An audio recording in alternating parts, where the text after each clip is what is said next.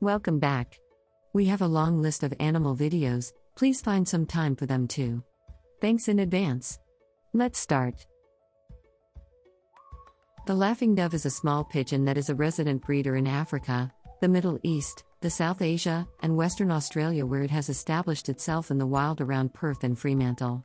This small long tailed dove is found in dry scrub and semi desert habitats where pairs can often be seen feeding on the ground. A rufous and black checkered necklace gives it a distinctive pattern and is also easily distinguished from other doves by its call.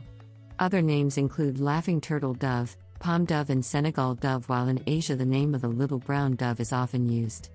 The laughing dove is a long tailed, slim pigeon, typically 25 centimeters in length. It is pinkish brown on the underside with a lilac tinged head and neck. The head and underparts are pinkish, shading to buff on the lower abdomen. A checkered rufous and gray patch is found on the sides of the neck of adults and is made up of split feathers.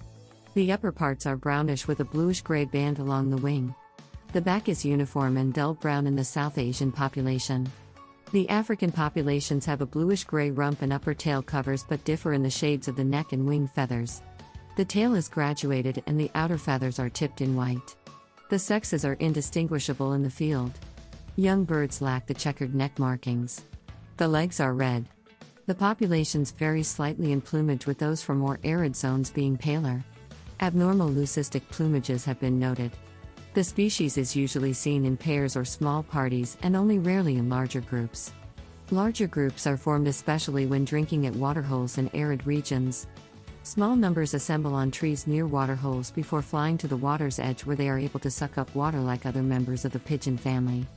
Laughing doves eat the fallen seeds, mainly of grasses, other vegetable matter, and small ground insects such as termites and beetles. They are fairly terrestrial, foraging on the ground in grasslands and cultivation.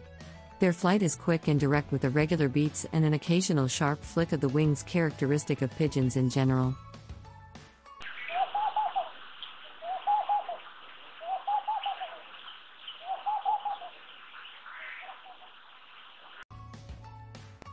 Thank you for your time. Take care.